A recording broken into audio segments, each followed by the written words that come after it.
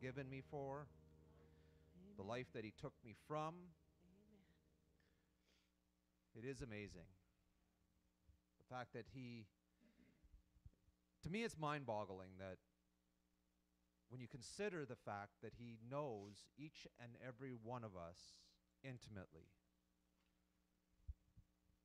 It doesn't matter where you go, what you do, where you are, anything about your life. He knows every part of it.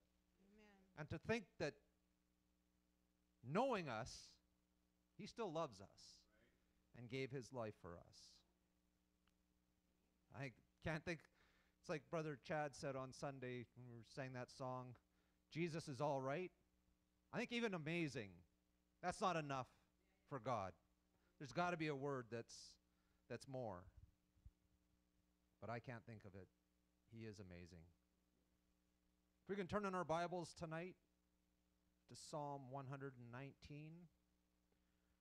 we're going to read two verses of Scripture there.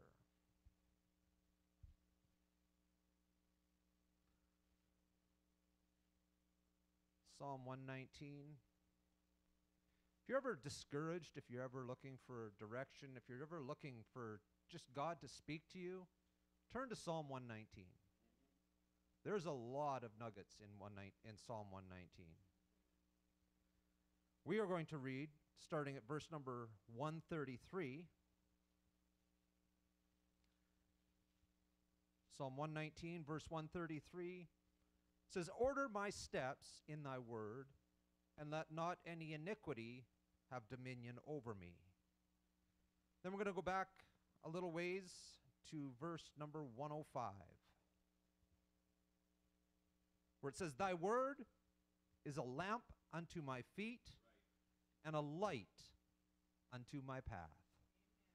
Lord, I thank you for your presence here tonight, Jesus, for your hand upon my life, God, and upon all those that are assembled here tonight. God, I ask that you would speak to our hearts, Lord, that you would move in our lives. Help us to hear your voice and to feel your presence tonight, God, because we give you all glory and all honor in Jesus' mighty name. Amen. God bless you. You may be seated. I want to speak to you for just a little while tonight on following God's path. Following God's path.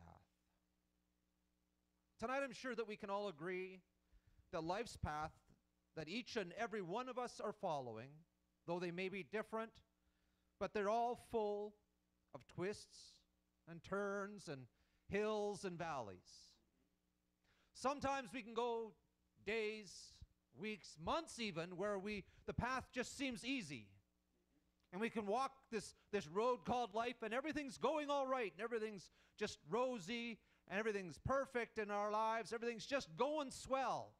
And then all of a sudden somebody comes along and it's like they pick us up and drop us on Mount Everest and say now you got to climb to the top. Well, how am I going to get there from where I'm at here?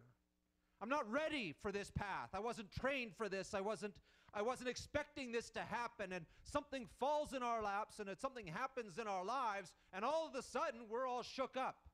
And we don't know where to turn and we don't know where to go and we don't know how we're going to get through this path called life. And it just becomes overwhelming when we even think about it. When you walk God's path, the way may not change much from the path that you were originally walking on. There's still going to be twists and turns. There's still going to be hills and valleys. There's still going to be those unexpected adventures that come along your way that you're not going to know how to get through. But the difference is when you're walking God's path, you can know that God is in it with you.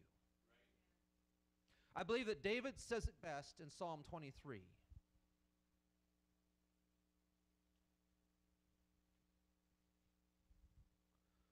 Psalm 23. We, I think we can agree tonight that David's life had a lot of twists and turns.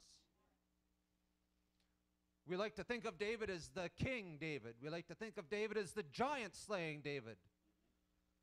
But he had a lot of valleys that he went through as well.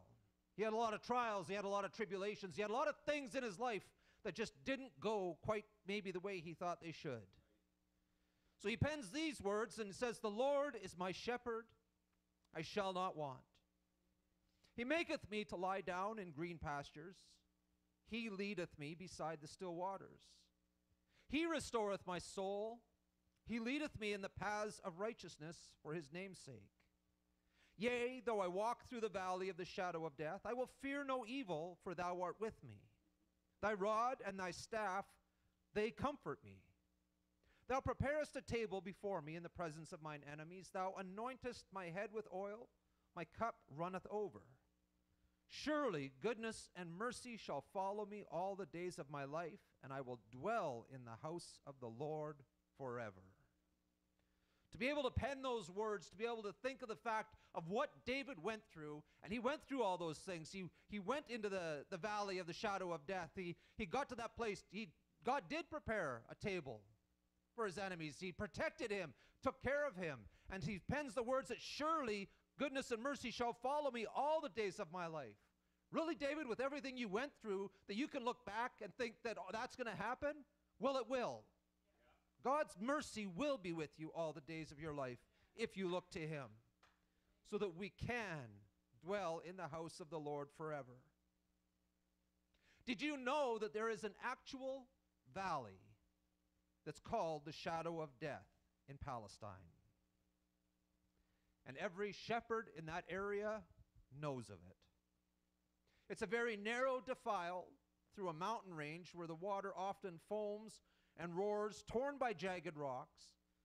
The path plunges downward into a deep and narrow gorge of sheer precipice, overhung by frowning sphinx like battlements of rock which almost touch overhead.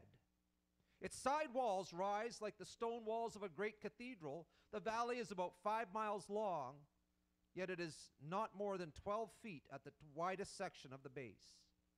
The actual path on the solid rock is so narrow that in places the sheep can hardly turn around in case of danger. As I mentioned to you on Sunday, I have a, sometimes quite a vivid imagination. And as I read this description of the valley of the shadow of death. I can imagine a shepherd bringing their sheep along this path. Maybe there's a better, she- uh, better pasture for the sheep on the other side, but all along the way, light barely breaking over the edge. Walking along, you can hear the roar of the water down below. The shadows dancing around as the sun is kind of just barely poking through. And every step that you take, you're wondering if you're going to be stepping off into the abyss to fall to your death. You're wondering if, if the rock is going to give away. You're wondering if, if you're going to make it through to the other side. Every step becoming more and more dangerous than the last. And that's sometimes how we feel like life is leading us. We sometimes feel like we get into that place where we're in that valley of the shadow of death where we don't know if the next step we take is going to be the right one or the wrong one. We, we don't know when the, some events fall in our lap and things, our lives get tossed upside down. Which, which way do I turn and which way do I go? Everything's crashing down around me. I, all I hear is noise in my head and I can't even hear God anymore and I, I don't know where to go and where to turn. But what did David say? Though I walk through the valley of the shadow of death, I fear no evil. Thy rod and thy staff comfort me. You see, David knew no matter what was going on in his life, we know that he made a lot of bad decisions. We know that he got, him, got into circumstances and situations. I can't even imagine when they, when they return to the city of Ziklag and they find it completely burned out. And they come and they, they realize that their wives and their children have been taken captive. And everybody, even his own army, is looking at him and wanting to stone him because they weren't there to protect them. What was going through his mind outside of the fact that he knew that he needed to look to God? He didn't just cave in. He didn't just break down. He didn't just curl up and, and allow the men to do what they wanted to do to him. He turned his eyes towards heaven. Because, God, I know that it's your comfort. I know it's your strength. I know that you are beside me and you're walking with me. And he sought God's counsel as to what needed to happen and what needed to be done. And in different situations in his life, he would turn to God. Where do I go, God, from here? What do I do now, God, with the situation which, with, which I find myself in? You see, sometimes life will throw twists and turns your way. With every bend in the road, every twist that you come to, every, every valley that you happen to descend into, every mountain that you think you have to climb, are you relying on your own skills? If they, somebody took me right now and, and dropped me off at even all the way up at base camp at Mount Everest and said, okay, I want you to climb to the top. I can't do that. I don't know how to get there. And they could tell me, well, you just follow the path, follow where everybody else is going. I would still say, I don't know how to get there. I'm not prepared for this situation. I, I don't know how to go this way because I can't do it in my power. Things are going to be things are going to happen in our lives and, and we can say, "Well, I'm just going to rely on myself." Well, you may not be equipped to rely on yourself. Are you just trusting in your own judgment? I'm sure all of us have done that in the past. I know that there's times when I've looked to my own judgment. And I've done that and then regretted the outcome from it. Are you being ruled by the emotions that rise up inside of you at that moment? Number one emotion that probably is going to rise up in, in any kind of these situations is fear. Never been here before. Never done this before. I don't know how to get past this. I don't know where it's going to lead me. I don't know where it's going to take me. But when we trust in God, when we look to God, that fear can go away. Because we can know God is with us. You see, I know the emotion called fear. See, as I've gotten older in this life, there's things that have risen up inside of me, and, and even though I know it's completely irrational, I don't know how to deal with it. And of all my life, I've had a fear of heights. Brother Beer, pastor, a few people here experienced that fear of heights when I was working on my roof. First couple days I got up there, I was doing all right. I was picking up shingles, walking to the edge of the roof, throwing them off, and something happened in those day, few days up on that roof that got to me to the point where I couldn't even stand on the roof anymore. I'm crawling around on my hands and knees and, and woke up in the morning anxious and dreading having to climb that ladder to go back up on my roof. And then it got to the place where I had never experienced it, but it was shortly, I, I think it was shortly after that. I'm driving down to Kamloops. I had to go down for an appointment for my knee. I'm now, I'm all by myself. And I'm driving home and I'm coming down the hill by Savinoff. And I start down this winding road down this hill. And you can see Kamloops Lake down below. It was a nice sunny day and it's shining down there. Suddenly I start feeling lightheaded. I start feeling this anxiousness in my chest, and I, I realize that if I'm not careful, I'm just going to pass out. I suddenly, this fear is rising up inside of me as if something's going to come along and grab onto my vehicle and tear me off the road. And I realized that this is happening. I, I, just concentrated on my breathing and I, I began to talk to God, say, God, I don't know what's going on here. I, I don't know what's happening right now. I need you, God. I need your strength and I need your power. I need you to get me to the bottom of this hill. And I slowed down my driving and I just kept on just breathing deep, kept my eyes focused on the center line of the road. And I got down the hill and the feeling went away. And I thought, where on earth did that come from? I've never experienced that fear before. Was just crippling and it was there. The thing is that sometimes we get into situations in our lives and, and things happen in our lives, and suddenly that fear steps in and it paralyzes us. And what do we do now? Where do I go from here? How can I get past this? And that fear grips you and cripples you, and, and you can't even make a, a, a rational decision anymore because of the emotions that are rising up inside. Right. But then you need to put your faith in God. Throughout the Old Testament, God's people were taken on a very winding path. And I'm not just talking about Moses wandering in the wilderness, but you look back through the history and you look back where they went and what had happened. We look into Joseph's life, and, and he, he gets himself into this place. He, we know about the dreams that Joseph had, about his, going to his brothers and going to his parents, saying, Oh, I had these dreams, and, and essentially they're going to be bowing down to him and, and they mocked him for his dreams. And we know that joseph was the favorite in, the, in his father's eyes and his father had made him this coat which signified that he was the favorite child and his brothers hated him because of it. Gets to the place where his brothers take him sell him off into slavery into egypt. It's a winding path that, that joseph was walking on. But you see from the dreams that he had all the way to the sale into slavery. That's what would bring Israelites into Egypt. But it was Joseph's faith that would indicate that he was on God's path. Right. He was walking the path God laid out for him. Joseph may not have understood the path he was on. He may not have understood what it was all about, where it was going to take him, where it was going to lead him, but he never lost his faith in God. He continued to believe in God. He continued to trust in God. And the Bible doesn't go into details about him calling on him, but in Potiphar's house, he was able to prosper because of God. Right. In Genesis chapter 39, beginning at verse number 2, says, And the Lord was with Joseph, and he was a prosperous man, and he was in the house of his master, the Egyptian. And his masters saw that the Lord was with him, and that the Lord made all that he did to prosper in his hand. That indicates that Joseph's faith wasn't wavering. Because God isn't going to make everything prosper. If Joseph would have turned his back on God, if he would have just said, God, you've forsaken me, you've left me, and started just doing his own thing, I don't think that God would have made everything that he touched to prosper. God's hands remained upon him, and Joseph knew that God's hands were upon him. Because as the story progresses, as he continues to go along, we know that he in, in Potiphar's house he was made to have rule in Potiphar's house. Like Potiphar allowed him reign, allowed him to do all kinds of things. And then he got into trouble again with Potiphar's wife.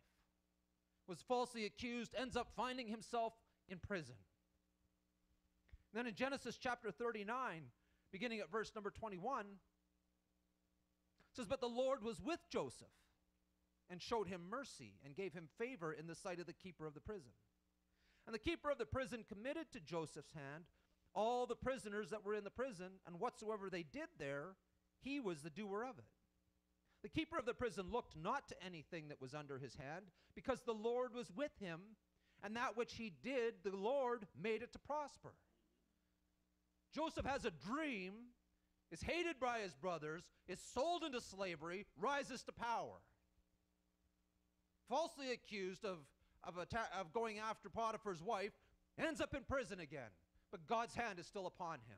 God's faith didn't, or Joseph, Joseph's faith in God never wavered. Continued to trust in God. God, I don't know where this path is going to lead me. I don't know where it's taking me, God, but I'm going to continue to look to you. I'm going to continue to trust in you. I'm going to continue to believe in you, and I know you're going to get me through this. So then later he goes and, and interprets some dreams for the, for the butler and for the baker, and, and they get taken out. And he says to the butler, he says, When you get out, remember me. Did you remember me? No. Still in prison until Pharaoh has a dream that nobody can interpret. Suddenly the butler remembers probably conveniently remembering to allow him some more favor with Pharaoh. I know a man that can probably interpret your dream for you. There was a man down in the prison and he interpreted for me, and what he said came to pass. So Pharaoh brings Joseph out, says, I want you to interpret my dream. And in Genesis 41 16, Joseph answered Pharaoh, saying, It is not in me God shall give Pharaoh an answer of peace. All along this way, God, I need your hand upon me. God, I'm going to trust in you. God, I'm going to believe that you've got a plan at the end of all of this. I believe, God, that you're going to take me through. You're going to get me to the tip of Everest, God, if that's what it's going to take. You will take me there. And he kept believing, kept trusting, kept knowing that God's hand was upon him, not knowing where the path is going to lead, but knowing that he's on God's path. Gets to that place, well, you need to interpret this dream. I can't interpret your dream, Pharaoh. God will interpret your dream. He gave the credit, gave all the glory to God. In the end, he would find out why his path led him the way he did, the way it did, why it took him to that place so that he could be in a position to stockpile food, to be in a position to be able to call on his family, to bring his people down into Egypt so that they could be saved. And the Israelite people would remain there for many years, where they would once again then find themselves in bondage. This is a winding path that God's people are on, taking them all over the place. You see, but it was in this time of bondage that a cry went up to the Lord God, we need you. God, do you see us in this bondage? Do you see us here in Egypt as slaves, doing what the taskmasters tell us, making bricks, doing all of this work, being whipped and beaten? Do you see us, God? And the cry went up to the Lord because they were trusting in Him to set them free. So God chooses a man that we know Moses. And Moses went into Egypt, back to the place that he had run away from. And there he goes in and goes through the trial of the plagues, all of the ups and downs and the twists and turns that that would bring. Again, God not fully revealing his plan. I want you to go to Pharaoh and say this. And when he does this, this is what you do. Okay, this is what I'm going to do. Then he comes out, and God says, Well, I've hardened his heart. He's not going to get them free. I want you to go in and do this. Okay, God. He goes in, does this. Okay, I've hardened his heart again. But the thing is, Moses continued to trust God. God, if this is what you want, you've brought me this far, God. So they get through the trial of the plagues, they get through all of that. Okay, softened his heart. Pharaoh says, Okay, take your people and go. Give them gold. Give them everything that you can so that they go. So they leave. God hardens Pharaoh's heart again. Another twist to the plot. They find themselves up against the Red Sea. People begin to murmur, begin to complain. You brought us out here just so Pharaoh could come and kill us? God takes them through the Red Sea, wipes out Pharaoh's army. They get out into the wilderness. They begin to murmur and complain. Oh, you brought us out here, to we're going to die. We have no water. He smites the rock, gives them water. You brought us out here to die. We have no food. God rains manna down from heaven to feed them. Oh, Moses, you took too much upon yourself. I don't think you should be the leader. And God wipes out a bunch of the people that came against Moses. Winding path. And then for 40 years they wandered in the wilderness, but not alone. For 40 years they wandered, following God's pillar of fire by night, that pillar of cloud by day, setting up the tabernacle, taking it down, moving when God was moving, following God through that wilderness. God was with them every single step of the way till he finally brought them through to the other side. God walked with them, it was God's path. They wandered in the wilderness because of their own stubbornness. They wandered in the wilderness because of their own hard headed attitude. But God was with them. God took them through. God made a way for them. God fed them. God watered them. God was with them. You see, this message is not in the path that you're walking, but rather, this message is in who are you following. As I said earlier, your path, the path that God has for you is not going to be that much different than the path that you're already walking or that you might have walked before. It's, either way, it's going to be full of twists and turns.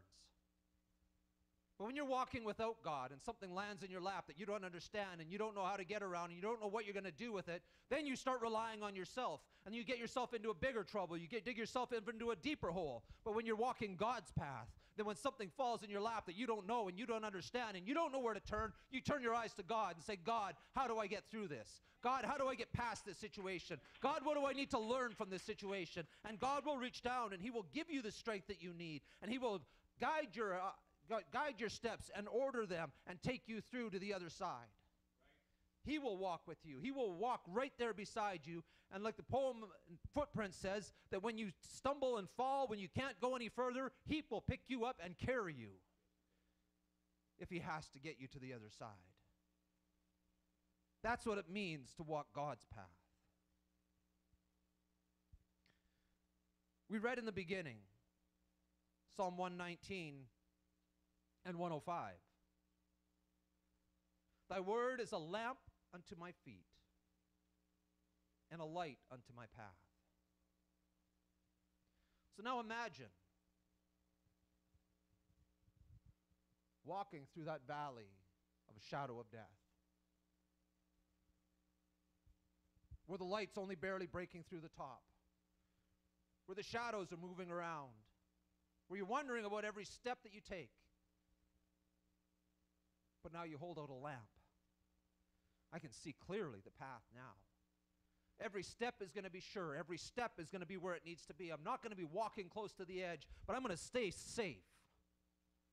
That's what God's word does for us. As we walk this path called life, thy word will be a lamp unto my feet and a light unto my path. That no matter where I go, no matter where I walk, doesn't matter whether I turn to the left, whether I turn to the right, whether I go down into a valley, whether I'm climbing a hill, His word is going to be a lamp unto my feet. It's going to guide my path. It's going to guide my steps. It's going to lead me to safety, and it's going to keep me from the enemy, and it's going to keep me safe from my own strength, from my own thoughts, from my own emotions, and from what I deal with, and the decisions that I would make. You see, following a path that you cannot see clearly, every step is going to be a danger. But then you realize that God is with you. Again, His Word becoming that lamp unto your feet, that light to your path, illuminating your way. This can only happen when you put all of your faith in Him and all of your trust in Him. Your path will always have twists and turns, but when you're on God's path, He'll light the way. Some of those twists and those turns, now they're not a surprise to you because you can see them coming. You can see what's happening around you. Notice that it's written in Matthew chapter 7, verses 13 and 14. It says, Enter ye in at the strait gate. For wide is the gate, and broad is the way that leadeth to destruction, and many there be which go in thereat. Because strait is the gate, and narrow is the way which leadeth unto life, and few there be that find it. Verse 14 has always been a little bit of an enigma for me. the way, just the wording of that. Straight is the gate. I think of something straight. Something is, is straight. How can a gate be straight? A gate's an opening. I'm thinking the path should be straight, but the path isn't straight. So then I looked into it a little deeper today. When you look at the words that are translated in verse number 14, straight, the Greek word is stenos, which means narrow. Okay, so narrow is the gate and narrow is the way. That saying kind of the same thing. So then I looked at the word narrow, which the Greek word is thlibo, which means afflict, suffer tribulation, or trouble. So if you look at that in verse number 14, because narrow is the gate, that I understand. It's a narrow place to get in. Tribulation and trouble and affliction is the way which leadeth unto life. I'm here today to tell you that the God's way, following God's path, does not mean it's going to be easy. When you say, I'm going to follow you, God, you better understand that you're actually looking for trouble. And I'm not trying to scare you because God will be with you in that trouble. God will be with you in that tribulation. God be will be with you in your affliction. But He's saying you're going to have to go through this and know that I am with you in it. You're going to have to endure this and get to that narrow gate because broad is the way, wide is the gate that leadeth to destruction. And I think of those two things and I think of a broad path It's easy. If you've got a broad path, there's a few roads that I've driven down, especially with this newfound fear of heights driving. I found myself a few times on a narrow road where there's a drop off on the edge, and I get really anxious when I start thinking about that drop off and, and how narrow the road is. But I've been on some worse areas where the road is really wide. And it's not so bad. And I don't get that anxious feeling. I don't get that fearful feeling down in my heart because it's safe. It's easy. I can do this. So I think of that wide path, that, that broad way that we can take. It'll be an easy way to go. You see trouble a little bit over here. Oh, I'm going to go. I'm going to stay way over on this side. I see affliction coming over there. Well, I'm just, I can go way over around it this way. Don't have to bother me. But that narrow gate, that straight gate, that's the aim. I got to hit that gate. The path that goes there is a winding path. And when I come down that path and I see affliction coming, well, I can't avoid it. It's right there in front of me. And tribulation coming right after it. But God is with me. God will be my strength. God will be my protector. God will be my shield. Why? That's the reason why David could pen those words, because David experienced God's touch. God exper- David experienced God's protection. David experienced God's hand upon him throughout his life. That when he went into that battlefield against the giant, he went out there with a sling and a few little stones against a proven warrior with a sword and a shield. And when he went out onto that field, he didn't meekly hide behind rocks and go out there. He ran out into the field and said, The Lord is going to give you into my hand. He knew God was with him. God was going to be the one to deliver him. God was going to be the one to get him through that trial. So when we come along and, and now something happens in our lives and we find that twist that we weren't expecting, God's going to get me through it. I don't have to worry about it. I don't have to fret about it. God's going to take me through to the other side. When that other turn comes along and that we weren't expecting that one, well, God was with me back last week in that trial. He's going to be with me this week in this trial. And He's going to help me through this. And the days are coming. I don't think we've seen trials yet. We haven't seen tribulation yet to the likes of what we're going to see. We need to believe that we're on God's path. And we have to stay on God's path and believe that God is going to take us through. You see, when you think of that straight gate and that narrow way being a narrow gate full of, a, and the way being full of affliction and being full of tribulation and being full of trouble, how much more do we need to trust in God because we can't go it alone? We aren't going to make it if we try to do it alone. We also read at the beginning Psalms 119 and verse 133 that says, Order my steps in thy word, and let not any iniquity have dominion over me. See, when our goal is that narrow gate, when we realize that trouble waits for us, our enemy wants us to fall into iniquity. He wants us to trust, to lean on our own understanding, not trust in the way of the Lord, so that we will stumble and we will fall. But we need to know that God is going to be with us. Psalm 119 and verse 133 should be a prayer that we pray every day. God, order my steps in thy word and let not any iniquity have dominion over me. Every day we should be praying that. God, order my steps today. No matter what comes my way today, order my steps. Take me through whatever I have to go through today. Whether it's something that we have to deal with at work, whether it's customers, whether it's employers, whether it's co-workers, whatever it is, when we go shopping, whatever we do in town, we should be praying that. You see, David penned these words, and David was a man just like you and I. He had his moments of triumph, which we like to preach on because they build encouragement, but he also fell due to temptations, fell due to his own lust. But David never lost sight of God. Even when he fell, and when his sin, when he was confronted with his sin, he didn't deny it, he repented. He still had the price to pay, but her, uh, his eyes were always on God. Psalm 137 or sorry, Psalm 37 beginning at verse 23 says the steps of a good man are ordered by the Lord and he delighteth in this in his way. Though he fall, he shall not utterly be cast down, for the Lord upholdeth him with his hand. I have been young and now am old, yet I have not seen the righteous forsaken, nor his seed begging bread.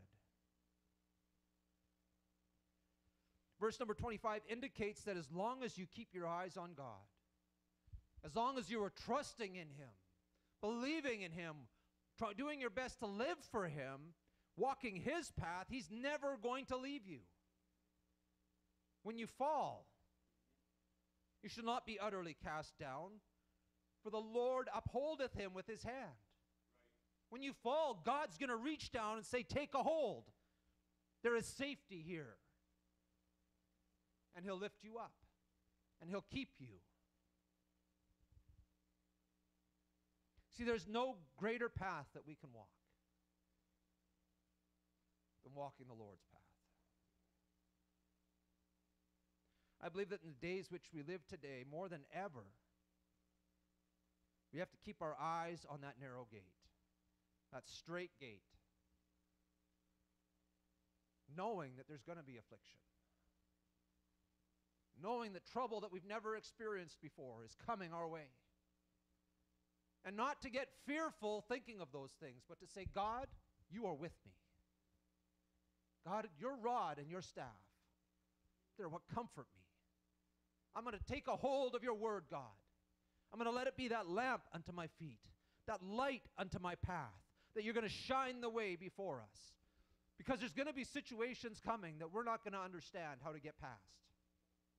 We're not going to be able to get through them on our own.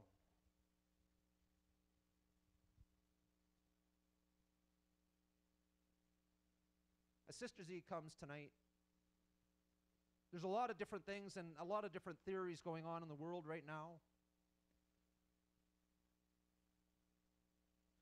A lot of, and I know the Bible says no man knows the hour or the day. But it's interesting when you look at what the Bible says and you look at things and events that are happening just in the stars. Revelation 12 talks about a woman travailing with child, having a crown of ten thorns above her head. People that watch the stars, the constellation, I think it's Aries, which is a woman, is lined up. So the Bible says that the moon will be under her feet. Apparently, if you look at the constellation right now, that's exactly the way it's lined up, with 12 stars over her head. And it says that there is a child in her belly, in her womb. And there's a comet, apparently, that is, that is supposed to be appearing, coming from that direction as well. Oh, it's just. It's just people putting stuff together, trying to make the Bible seem like it's real. Trying to bring prophecy to life that's not really coming to life. Is it?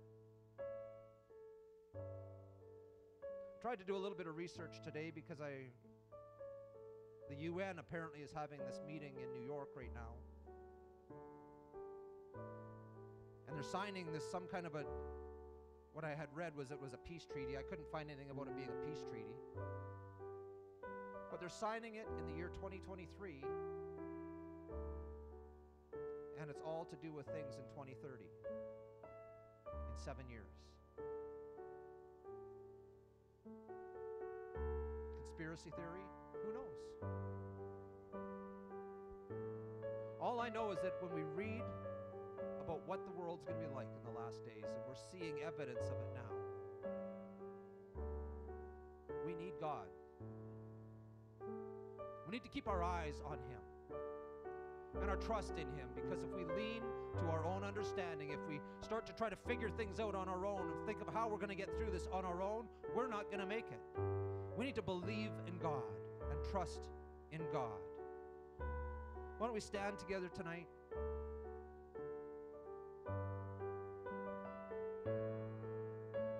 Think that we should also pray Psalm 23. Psalm 23 again says, The Lord is my shepherd, I shall not want. He maketh me to lie down in green pastures, He leadeth me beside the still waters. He restoreth my soul, He leadeth me in the paths of righteousness for His name's sake. Yea, though I walk through the valley of the shadow of death, I will fear no evil, for thou art with me. Thy rod and thy staff, they comfort me. Thou preparest a table before me in the presence of mine enemies. Thou anointest my head with oil, my cup runneth over. Surely goodness and mercy shall follow me, follow me all the days of my life, and I will dwell in the house of the Lord forever. I think that's a good thing to pray. And ask God to be with us, to lead us by the still waters, to restore my soul to lead us in the paths of righteousness for his name's sake. That we will fear no evil because he's the one that brings that comfort. Why don't we just pray and talk to God tonight and ask God to be with us, to walk